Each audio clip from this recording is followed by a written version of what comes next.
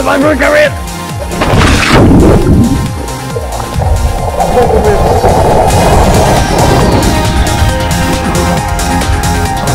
My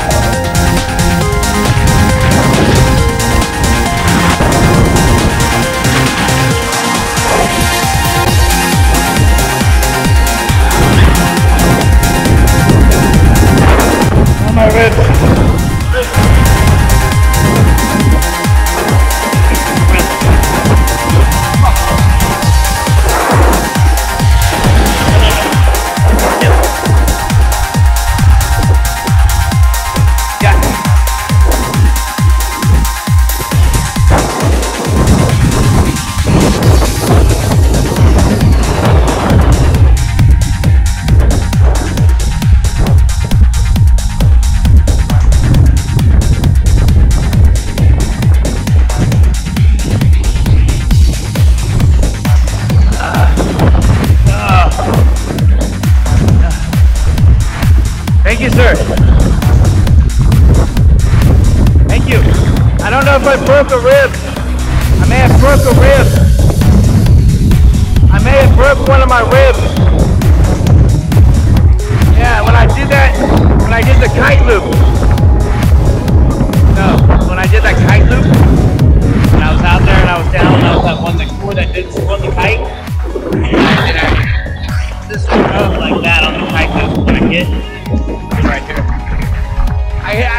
I my rib. Yeah.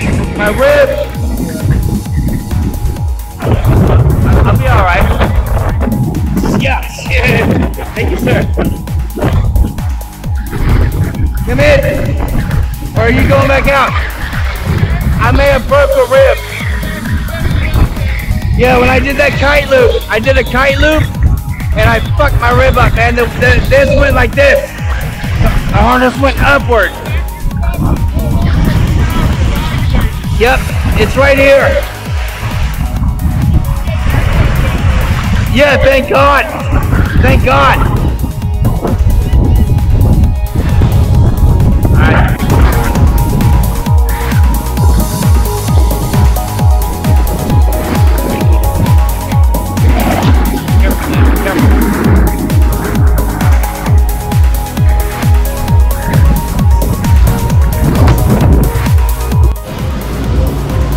Alright, it's been five days since my re-break on my ribs on the actual defuse.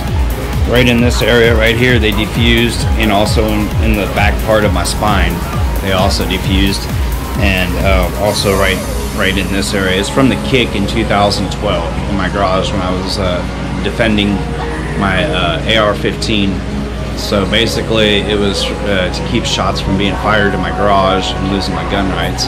Because my ex-brother-in-law, Justin Westbrook, wanted to go ahead and get crazy, kick me in a couch, couldn't handle this uh, self-control, and uh, kicked me where I flew backwards, and my whole chest got caved in pretty much, and I, and I survived.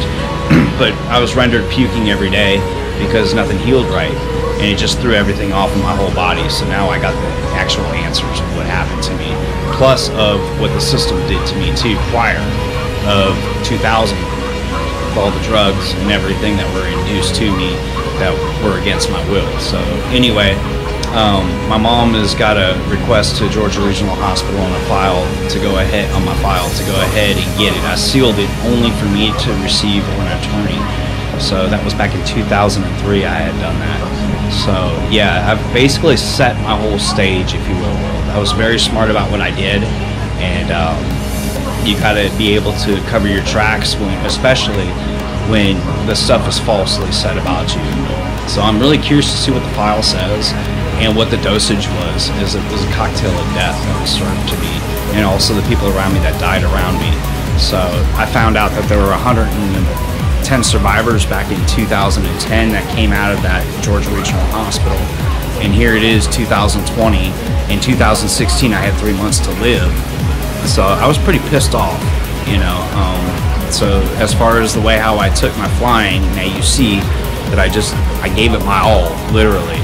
So it wasn't to be the best or anything. I could care less about that. It was mainly to hold my truth Because if it wasn't real, I would have already died permanently.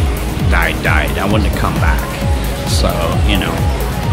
Anyway, through the power of Yahweh, God is an invisible force everywhere and everything God is. Can't see God. God has no face. It's just pure power. It either works in a good way or a negative way. It's like the triangles go good and evil. So, you know, hopefully you choose wisely. I went with the upper power triangle. So, anyway, you all have a blessed day. Thanks for watching. And my ribs, again, they're almost healed as I continuously sit here and puke in my pain. So, I've had a lot of blood come out. So, anyway, I'm just hanging in there. God bless. Amen.